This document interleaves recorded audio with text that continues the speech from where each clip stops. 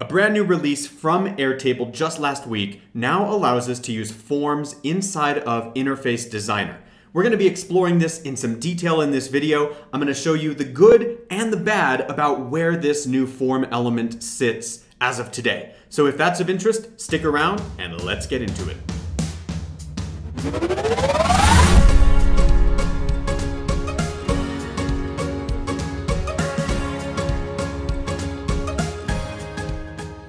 Welcome back to the channel. If you're new here, my name is Gareth. I'm the owner here at Gap Consulting, and we make it our mission to help you save up to 20 hours of your time every week with automation and no-code tools.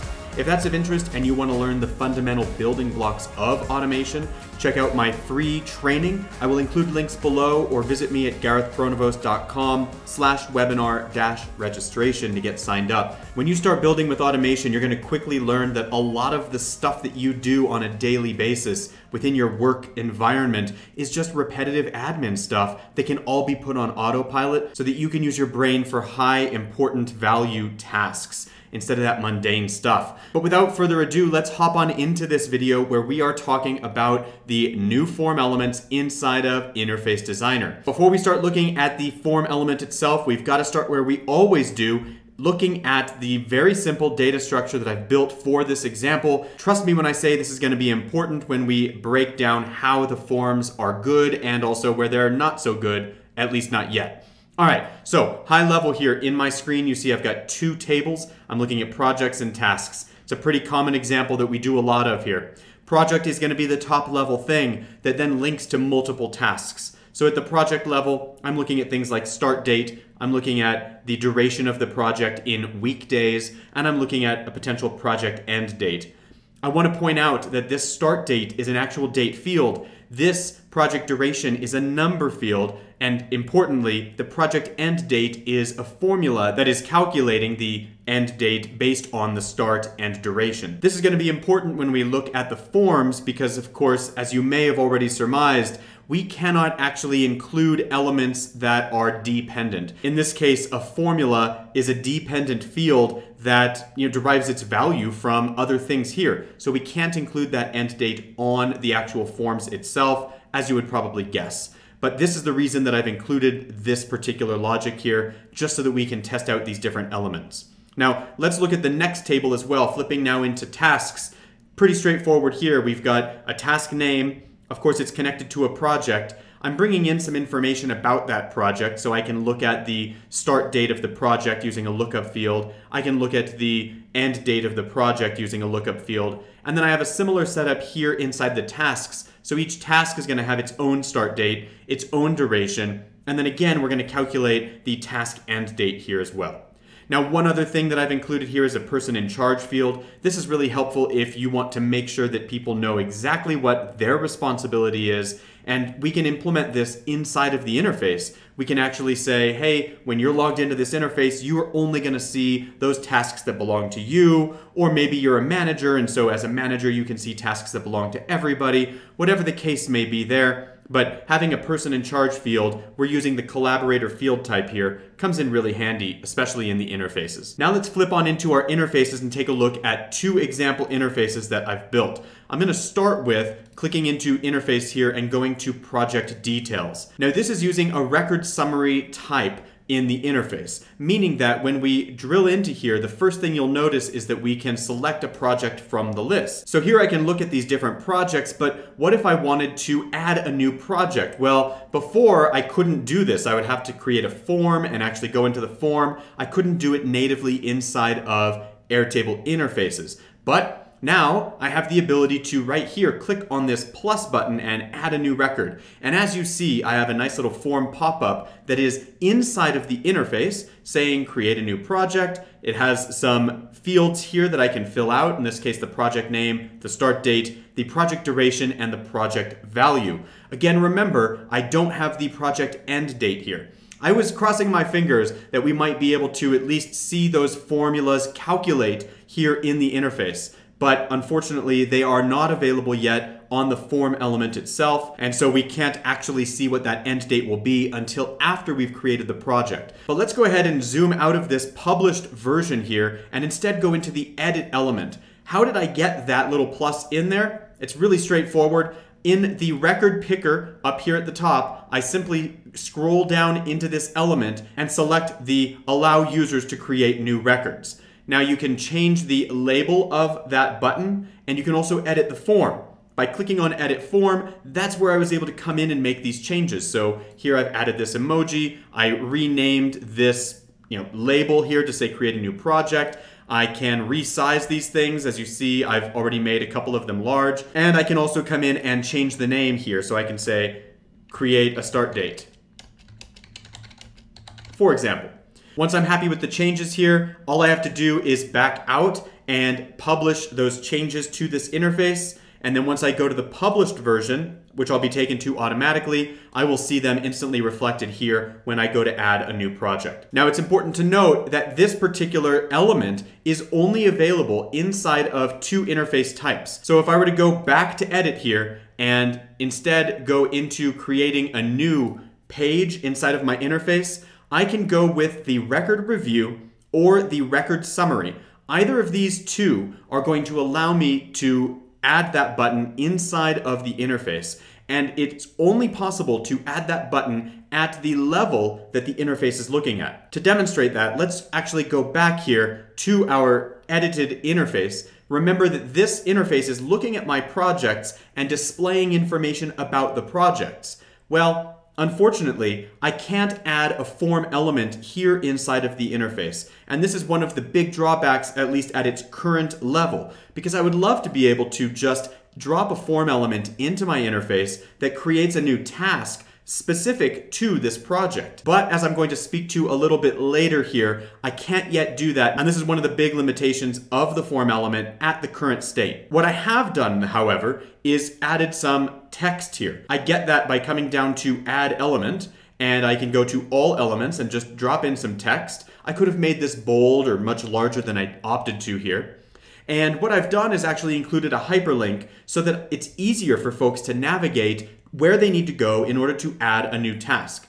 Now again, the drawback here is I'm actually going to be going to a new page. And so in going to a new page, I'm going to miss out on all the information that I have about the current tasks. So for example, if I wanted to add task 3.6 because that's the next task, well, when I click here, I'm going to be taken to a new page and I'm not going to have tasks 3.1 through 3.5 already on my screen. I'm also going to miss all of the other information about the project at its current state. So I don't know what the start date of the project is, the end date. I don't know what my timeline of project tasks currently looks like. So there's a lot that I'm going to miss out on. Now, my best guess is that Airtable is going to be working to release this in a future release, just as they did with the original forms. The standard Airtable forms have gone through quite an evolution over the years, and I strongly suspect that we're going to see the same thing with the form element inside of Airtable interfaces. But let's flip back now to the published version of our interface. Imagine that we wanted to add a task as I've said, we can't drop that form element in here just yet. So instead what we've done is created a new page, a second page,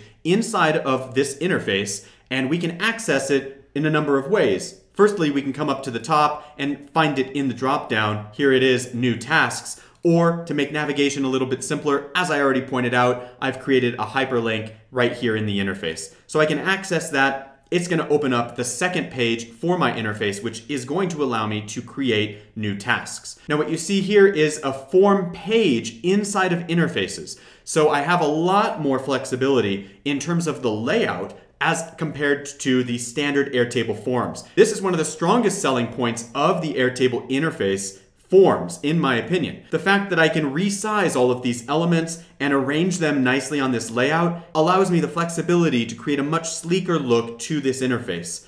I do want to point out that I can't adjust where the create button winds up. I can't move this around. It, by default, is going to be here at the bottom of this form, and there's not a whole heck of a lot I can do in order to change that element of the design.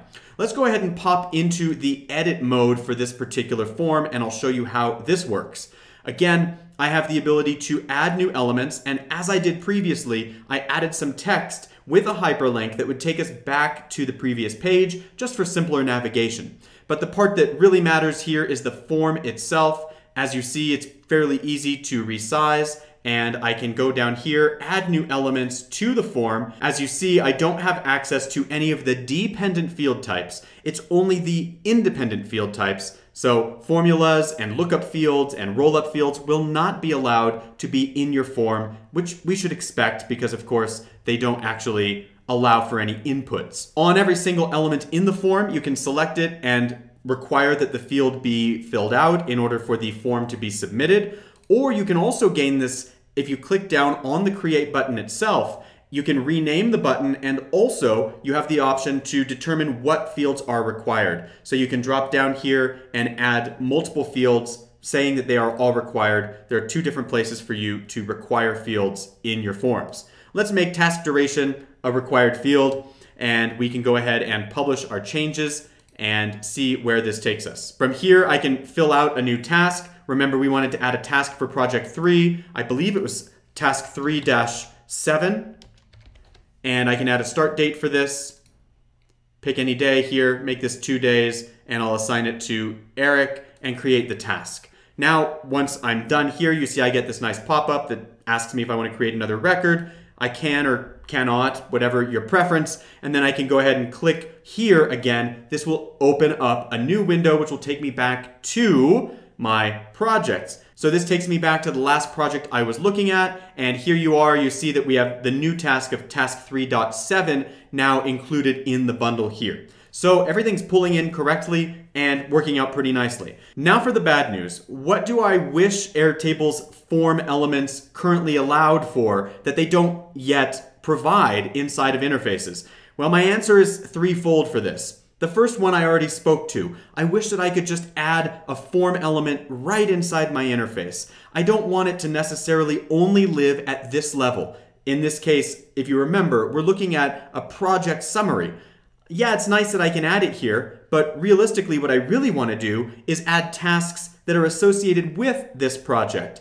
And I don't want to have to leave and go look at a different page for that. So I wish that I could just drop an element into this page and sync it up to any table. And if there was a linked relationship, in this case between projects and tasks, if I built a form for tasks, I would want the project of the task that I was creating to be automatically assigned to whatever project I'm currently looking at. As I said already, I'm sure this is something Airtable's working on. I would be surprised if we don't get this functionality in the near future. Thing number two that I wish we could do inside of our forms is set conditional rules. We can do this inside of Airtable's current forms, although we can't do it in the forms inside of interface. The advantage to Airtable's interface form, again, is the layout capabilities. I can make this form look a lot better than the standard Airtable form. But the standard Airtable form is way more powerful because of the fact that I can add conditional variables there. I can say only show this particular thing in my form under certain conditions. So given that we have no conditional functionality in the interfaces form elements, it's kind of a bummer, but again, this is something that I'm sure will be released over time. Remember, the form element for interfaces literally just released a few days ago. I'm sure there are going to be sweeping changes and improvements over the next few months. Now, the third big limitation, this is again something that we are able to get from our standard forms and that's pre-filling values for these forms. There's no way for me to pass along certain variables and automatically fill out certain things. For example, I might be here in my projects and I have a certain start date for this project. Maybe I want the start date for the task to mirror that start date. I want to pass that variable along so that when somebody clicks on this, it's automatically filled out here and also automatically filled out for a specific project. Unfortunately, we don't have any capabilities for pre-filling values just yet, although again, I'd be surprised if we don't see these improvements over the near future. As you can see, the interface form element is pretty darn cool. It does come with some limitations, but again, let's be patient. I'm sure these things will be addressed in time. Airtable has been making some sweeping improvements, and I don't see them stopping anytime soon. I hope you got a lot from this video. If you did and you want to be sure to stay on top of no code news, be sure you've subscribed to this channel, and I will see you in the next video. As always, I hope you found that to be extremely helpful. If you did and you'd like to learn more, swing by our website and see how we can help. We offer a free Airtable crash course that will help you level up in Airtable quickly, and we also have some paid services, including hourly consultations with our experts, We have some online courses and a group coaching program. And for advanced needs, we can build a bespoke solution for you from scratch. So swing on by, and I look forward to connecting with you soon.